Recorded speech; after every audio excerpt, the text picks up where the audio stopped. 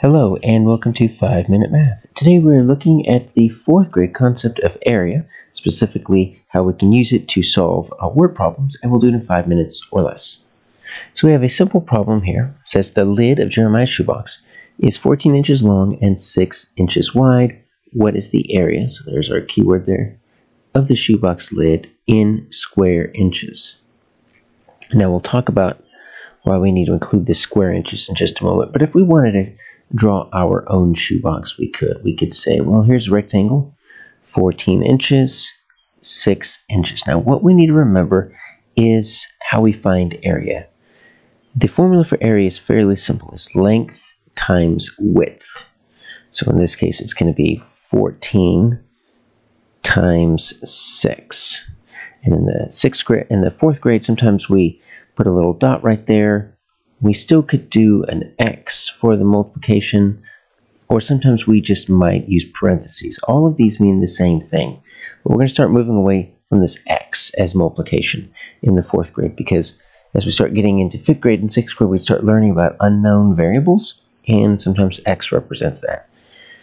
And so this length times width is going to be 6 times 14, or 14 times 6, fairly simple. But what we need to remember is what this square inches actually represents. In the third grade, whenever you would look at an area problem, you always had little boxes. These boxes are still here, they're just kind of invisible.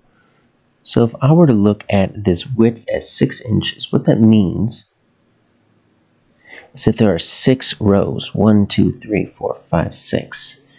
And if I were to look at the length as 14 inches, that means there are going to be 14 columns so if I were to just start going like this, I've got two, I've got three, four, five, six, seven, eight, nine, ten, eleven, twelve.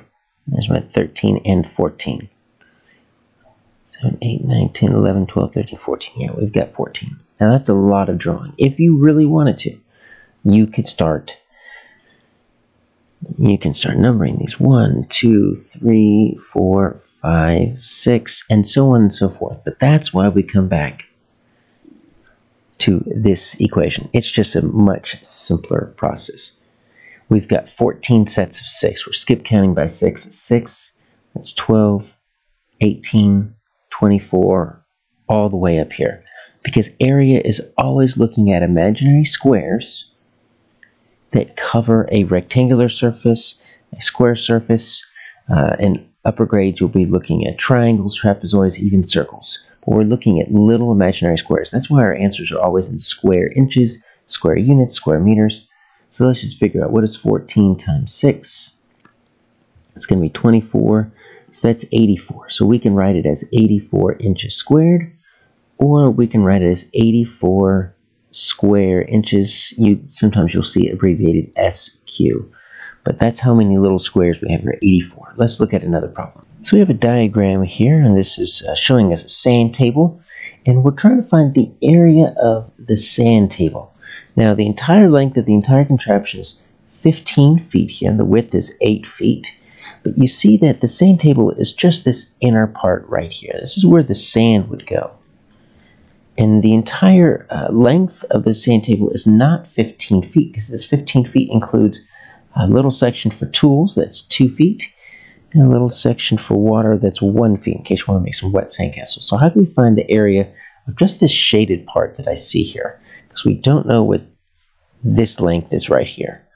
Well, let's make sure we get our equation. Area equals length times width. And we know that our width is going to be 8 because this 8 goes for this whole section right here. So that's pretty easy.